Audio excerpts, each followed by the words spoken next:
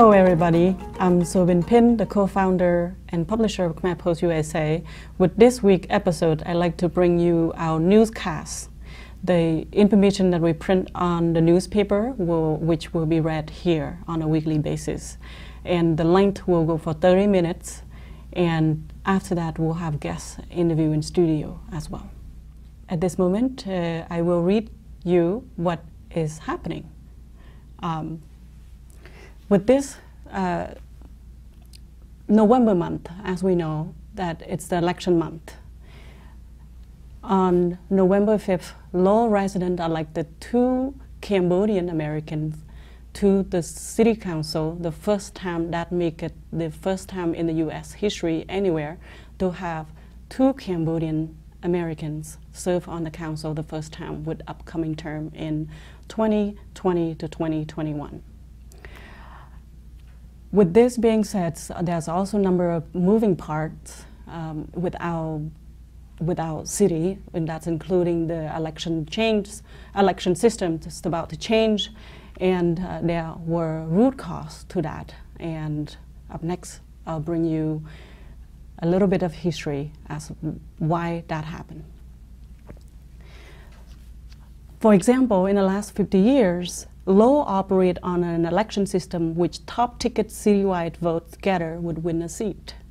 Lowell has 105,000 people, which nearly 49.2% of population is made up by minority population. That include a large of 30,000 plus Cambodians. The city is divided into neighborhoods, eight neighborhoods. They are including downtown, Acres, Pawtucketville, Centerville, Belvedere, Highlands, Lower Highlands, and South Lowell. At the time of the law, uh, I like to bring back, speed back in a little bit as a background about our guest who will join us later on today. Vesna Nuon is a, among very few people who are in the midst of everything that happened. Vis Vesna Nuon was elected to the city council for the first time in 2011. He, he served for one term and he lost two races after, which took place 2013, 2015. 2015, we had about five Cambodian Americans ran for office at that time. None won a seat, which I believe was the cause, root cause for the lawsuits that which comprised of Latinos and Asian American came together via a lawsuit which called Huot versus City of Lowell that claimed the current way of counselor are chosen violated the federal Voting Rights Act by diluting the power of the votes of the minority in the systems. So, so connecting the in previous point that in the last 50 years, Lowell operate on a system that top ticket citywide vote getter would win a seat. And with this eight neighborhoods that divided, we have one prominent neighborhood that pretty much set the structure of the political power of this, in the city, which everyone know, Belvedere. Belvedere is a neighborhood section in Lowell that links to rich history of Lowell mill era in 1800, which many family had big homes and great, made great fortunes during the textile industry and had powerful political influence. Up to this day, it had the highest voter turnout than any neighborhood in the city and had maintained a political structure for the city. For many people believe that the city is running well this way, except for one thing, the barrier to new candidates, people of color, who lack a famous family name and money to run successful campaign, it, to be part, to win a seat in a local city government. With this challenging of the lawsuits that brought in 2017, we have witnessed some interesting changes. That's including Vesna Nuon had rose to the top ticket. Somebody who lost two count, two race and came back, rose to the top. That I like to call it like like a comeback you know, you're thinking of like, um, anyway, limited, uh, limited that commentary there. Um, earlier this year, City Council agreed to settle this lawsuit by changing the election system to one way that acceptable to the plaintiffs. In the lawsuit, to help the councillor make decision, they ask voter to express their preference on the election ballots questions. The first question asks if people wanted councillor to select it by ranked choice voting, which a system currently used in Cambridge. Under this system, voter would rank candidates as their favorite candidate as number one, and second favorite number two, and so on. Two, second question ask if, if people wanted a system where three councillors would be elected citywide at large and eight councillors would be selected from each neighborhood. Districts with majority of the voter in at least two of the district being member of minority group. People voted in favor of at-large district mix and against ranked choice. Earlier this week on Tuesday, the council have voted in favor of the at-large district mix uh, options. Looks like this will be moving forward, and in 2020 term, uh, the council has the responsibility to implement this change, that including redesigning the district representation. So as soon as the election um, result came in, uh, just two weeks into the, after the election, people have been discussing about who should be the next mayor. And uh, as we know, two possible candidates, one John Leahy, who is the longest serving school committee member and councillors, uh, who believes he has enough votes um, to secure the seat at this point. And I just met Councillor Nuon earlier uh, yesterday that he is still seeking for the conservation as the next mayor um, for the cause that he believes in that he will make the difference. And in addition to that he finished pretty high as a as the second top vote getters uh, in this election turnout um, in addition to the last term he was top vote getters. Um, in addition to Vesna we have new councillor elected Sokhary Chau. I like to invite him uh, on board as well, but I believe he is now on a tour to Cambodia uh, on a, a, basketball tour with uh, his team. So we will be speaking with him later on when he returns in a few weeks. Um, and um, I guess up to this point, uh, let's tally up the name. Uh, who are our new councillor and some are re-elected one for the 2020 term. We have um, incumbents, uh, well, re-elected Rita, Councillor Rita Mercier, Vesna Nuon number two. Number three, John Drinkwater, new candidate, uh, will be first-time councillor.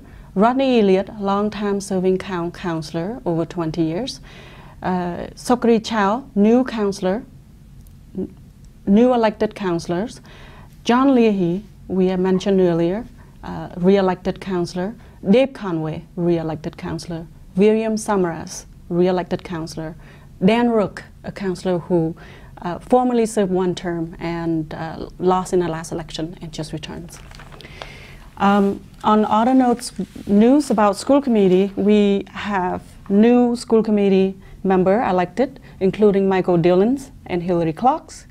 Um, we, in Cambodian Americans community, we lost Cambodian uh, uh, school committee man Dominik Lay, and four re-elected school committee member Jackie Doherty, Andy Descoteaux, Robert Hoey, and Connie Martin. They will be continue to serve in the 2021 term. Um, Last but not least, uh, other news we have is the Mass Health Connector enrollment period is open uh, from now through January 30th, and it is an important period to make sure helping your family, mom, dad, everybody, children, uh, men and women, and make sure this is a period where you can enroll into an insurance plan and choose your primary care if you haven't had one because you cannot change your health plan after January 31st. You get stuck. And if you don't get one, uh, health insurance, you also couldn't enroll unless you have some medical immediate needs or emergency or some sort of special situation, which make things very complicated. That's it I have for now for this segment, and uh, we'll be speaking with our guest very shortly. Hi, Saban. Hello, welcome. Well, thank you for inviting me, and uh, thank you uh, to all the viewers, uh, all the voter of Lowell, for the opportunity to serve you another two more years. Finally, we got you on the show. I know, it's honored you know to be here. you're always welcome here, right? Thank you, thank you. I know that. Thank you for this space too. Well, this is a very nice space to be. Ab- Absolutely, I love this place. So that's why I come back for two more years, and thank you to all the voter of Lowell. So I know that uh, you know last last term you were top ticket, and and you served well with uh, Mayor Samaras alongside by Mayor Samaras on many key issues like the way you handle the election lawsuits and ballot made ballot into um, Khmer language. So I thought there were some progress that you know in our favor that we saw for the minority community. Um, this elect, past election, you uh, were elected again, and you were top second ticket holder. What? Uh, how do you feel about it? I feel great about it because we brought a message to uh, Lowell resident, Lowell voter uh, two years ago, 2017, that resonated with voters. Uh, what we did the last two years, what I did with other councillors, is that we led a, I led a transparent committee meeting around the election um, and how we uh, were to change. Um, so we took those message, um, the listening sessions to every neighborhood in the city uh, to hear how people feel about our current voting system. And we hear resoundingly from the voters, and they did uh, this past election um, vote to, um, uh, uh, to change our electoral system. Uh, although it's non-binding, last week the council did vote to uh, endorse or support the voters' choice, that is the hybrid 8.3 uh, Choi going forward. So we need to work on how we're going to make sure that, that this process is going smoothly because the next, the next two years, that is 2021, we will go into a new system that is the hybrid A3. So we have to divide our district into eight and all those, those who want to still run at large can, can, can do so at three. So A3 and those what it is. So the other things that I did uh, with other council support is the you know, bring about the uh, push for a workforce diversity inside the city hall and out. And, and uh, we're also looking into diversify the board and commission and create an alternative board so that address two, two things. One is that the current, you have an active board, you have board members, but then again, when those board members absent due to either family emergencies or whatnot, uh, you don't have a quorum, so the meeting end up canceled. So now when you have alternate, you address two things. One, uh, you don't have to cancel those meetings. The alternate can step in as voting member. At the same time, the alternate, at the same time, you diversify that board to include minority and women uh, on those board and commission.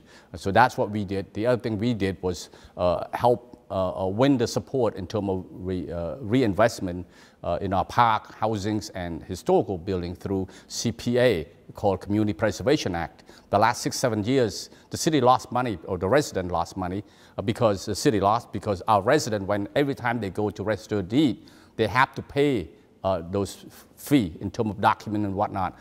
The last seven years, we lost about five point something million dollar. That could have been the city money because we did not participate in Community Preservation Act. So I did introduce that, the council vote for it, and then the resident, the, the voter of Lowell, uh, just, you know, this past uh, November, vote to support it. So we're going to, going forward, we're going to be able to uh, put in 1% of our taxes, and in addition, we're getting 25, 30% on top of those money uh, to use for our park, used for uh, recreational spaces, affordable housing, and so on. So those are the three th some of the things we're doing. Also, we're talking about uh, looking at new revenue to, uh, to fix our municipal building. We get 3% from the uh, recreational marijuana revenue, use those money to uh, fix our municipal building. And those are some of the things that we did as a council. Um, so, um, so going forward, I think you know, we have many, many things uh, to do, as I alluded to earlier, uh, uh, with regard to the, the change in the electoral system. So that we need to work toward that. The other thing we need to do is that there's so many beginning of a new project, like I, I, I understand people talk about the high school as one of those big projects, three, 343 something million dollar. Let's pause a second. Yeah. Explain me why the Lowell resident lost about $5 million into uh, their property taxes uh, in the last six, seven years. Explain why was it a loss? It's not a property tax per se. Say every time when people go to register deed to, to, to, to getting document or, or, or sign on deed, whatever, you pay fee. When you, every time you go register deed, you pay fee for document and stuff like that, that you need it. Uh, those fees go into what we call the uh, state community trust fund. Those trust fund where those city and town that uh, participate in those community preservation, they get to use those money, right? Uh, they get to get, if they put 1% in taxes, what they do get is 30% or maybe more on top of that 1%, and they use that to uh, fix their park, they use that to do affordable housing, they use that to uh, do historical uh, building. Those are the three things you can use, uh, four things actually, you can use those money for. The city of Lowell, the last six, seven years, we did not participate in those because we say that's taxes, 1% taxes. It is taxes, but you know, it taxes where you, it's like a 401k. Take it in and then you can use it down the road. It's more money in that 401k. It's same, same thing here. Uh, so, um, so in doing this 1% taxes, we also recognize too is that senior, those low income or own a, a single home, that cannot afford this, even that 1%, we do the exemption on those seniors and uh, those uh, low income or those people who cannot afford uh, the, those 1% taxes. Any plan for the Clemente Park? Well, the, coming Well, the, uh, the Clemente Park, there's a lot of work uh, put into Clemente Park already. There's, there are a few other parks that we need to take care of uh, in, the, in the city of Lowell. Uh, there's a Roberto Clemente baseball field located behind Butler School. Currently, there's no light there, a, a baseball field. So the kid, during the summer, they want to go play. So after that, I mean, getting dark, let's say six, seven o'clock, getting dark, so they can't go because of the darkness of it. So, uh, I mean, if you want kids to have a place to go and a place to hang out as a group, uh, uh, uh, lead team, rather than stay in the corner and get in trouble, let's do something. Let's fix those. Let's make light turn turn that light on. Fix that. It may cost a little money, but then again, it it it it, it worthwhile to do so because now kids have place to go. So we have to look at making sure that all the park that we have, the 20 plus park that we have in the city, um, uh, have equal sort of like you know not this area have like this area doesn't, so we have to really take care of our, our, our, youngsters so that they have place to go to hang out rather than join uh, a gang and whatnot. So those are some of the things that we need to do. With regard to Clemente Park, I know the issue with Clemente Park is, has to do with name change. So the two group now, is it, it, they came before the uh, park, park board, uh, board and commission um, four or five months ago right? Park Board and Commission recognized that this discussion need to be uh, need, need to be uh, discussed between the two groups, the Cambodian and uh, Latino community. So now they are talking uh, how we can make it, change the name, but in a way that respectful of Roberto Clemente, the work he's done uh, for the city of Lowell and for uh, his native country. so there have been communications going on right now. We hope that at some point there'll be some re re resolutions to this. I also understand that quickly, right after the proposal of name change from Clemente Park to Pineland Park, uh, uh, there was quickly change the way that uh, the issue was handled. It was referred to a law department, yeah. or I mean, uh, where is that now? Well, it's now before the Board of Park. I mean, so you have to understand too is that, you know, as a community or as a leader, we are not in positions to pit one group against the other. We better have, uh, uh, have them working together. You know, uh, that's how you lead things. You can't just pit one group against the other and just for your own political or personal gain. It's not about it. It's about serving. It's about making sure that both groups have communicate and talking about how we can be respectful of each other and working together with those change. Change, name change happen all the time right? Just as a matter of we doing in a respectful way. We doing with communication from both sides, and that's what we need to do. Uh, so that the border park recognize that. Now it's a matter is before the border park, but the, now, now the two group now talking. Eventually, when they resolve. Uh, have, have come to agreement, then they can bring it back to the border park and have the border park uh, make the decision on those, those name change and whatever that name change is. And I see you wear the scarf that uh, say Cambodia Town on it uh, update us the pro that project.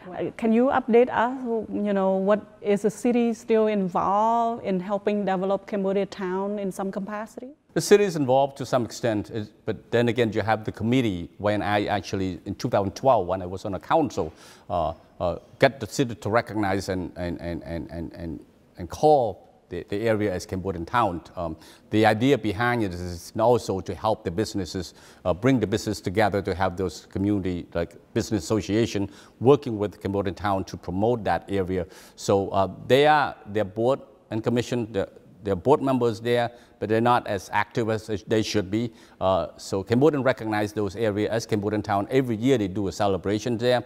Uh, eventually in, in, on, in, the corner of it, I mean in, in the island in front of it, so uh, there, there's a plan to uh, have that name changed to Cambodian towns as well, uh, so that uh, they can then beautify the area, that, that island with flowers and whatnot, and take care of it as well as, you know, whatever come next. Uh, uh, but I'm not really involved with the Cambodian town. They have their own uh, board and commission. What you can only do is that, for me, I feel that, you know, the same thing like Clemente uh, uh Park. Set up the committee to take care of that park. they do New Year celebration every year. They do cleanup every a couple times a year. They take care of those, those, those, parks. little being done by DPW uh, maybe cut grasses and stuff like that. But other than that, picking up trash and whatnot, there's somebody there taking care of it. So, and you want the ownership there, and that's what we did there. And the same thing with Cambodian Town. I, I do not, uh, you know, inject my uh, uh, uh, uh feeling or, or, my, you know, you, should, you have to do it this way or that way because, you know, you have to give people opportunity to, you know, if they ask for help, yes, of course. But then again, you have to give people opportunity to do it their way. It's not your way to pick on your point about the um, having you know the businesses get together and work with the city, uh, idea of business association. Um, in Lowell, we have the highest Asian-owned business than anywhere percentage than anywhere in Massachusetts. We have 15% of Asian-owned business, which com comprise mostly Cambodian. Uh, comparing to Boston, only 5%. That's the largest Asian-owned business. And um, it, it kind of shocks me that there's no Asian American staff at City Hall in planning department for economic department at all.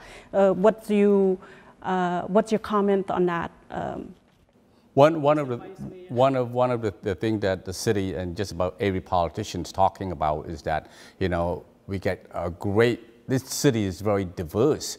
We celebrate our diversity. We have flag racings every, just about every month in the city of Lowell. Uh, we have a lot of festivals and whatnot. The one thing we didn't have is this inclusion.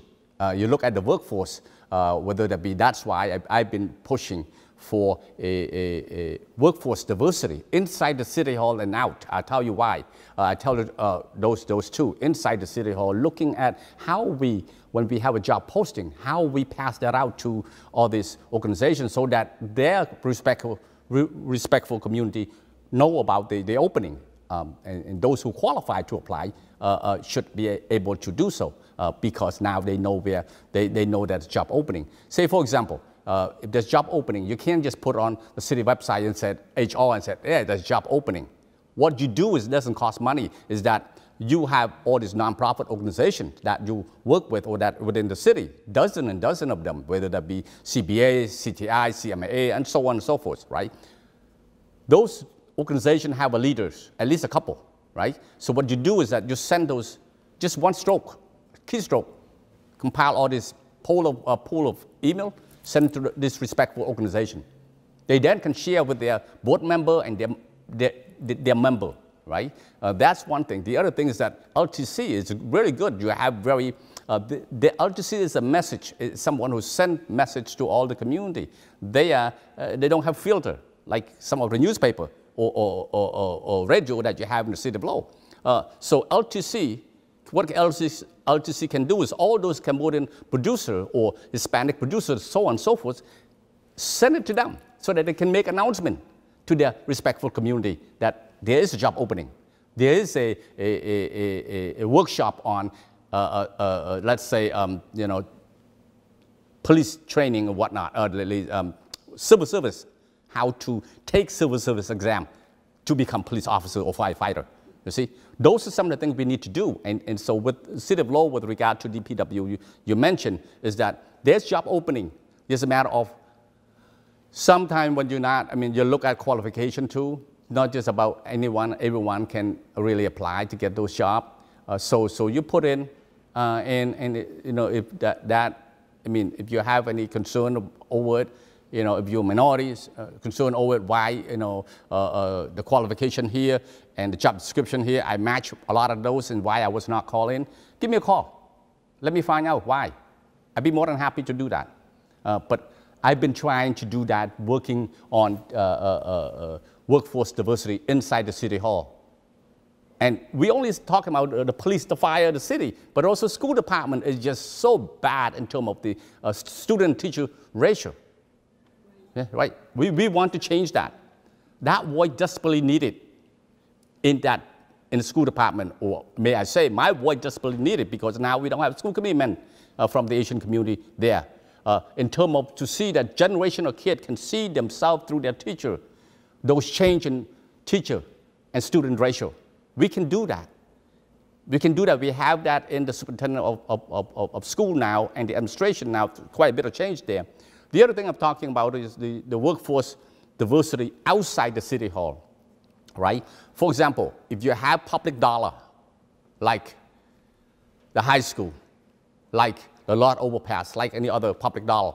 What you want to make sure that the contractors agree to what we call, we just did that with the, the high school, the local labor language. That is to ensure that minority, women, and resident getting those jobs, right?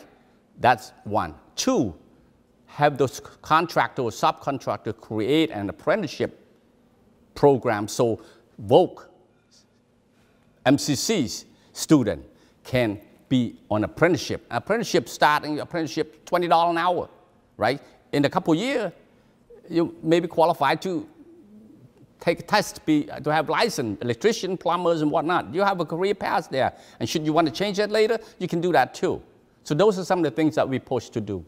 So we, we see that there are obviously, you know, city right now is facing many challenges. The, the infrastructure yep. is happening, hiring, uh, diversify the hiring is, is going on in the effort of changing that. So what promise would you make in, in seeking for the mayorship in the next term? I know you're a second top ticket holder. Well, I, I am put my name up for mayorship uh, for a number of those reasons. Um, that is, we have it in this administration uh, uh, um, that, that, that, that want to move things and want to really be inclusive, right? Uh, look at some of those, those issues we talked about earlier. We need to continue build on that those issues. You have a big projects coming up the high school. You have the, the Lord Overpass project that, that's going to happen. You have the change in the, our electoral system, the, the, the tra transition in our form of government.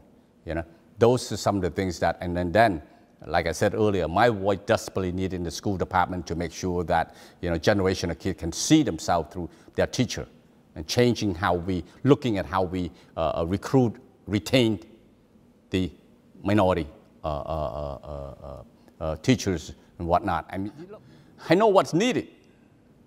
And I know how we can go there, get there with all the help of the, all, all my fellow council. Should I have the opportunity to be mayor, that's great. But if not, then I continue to serve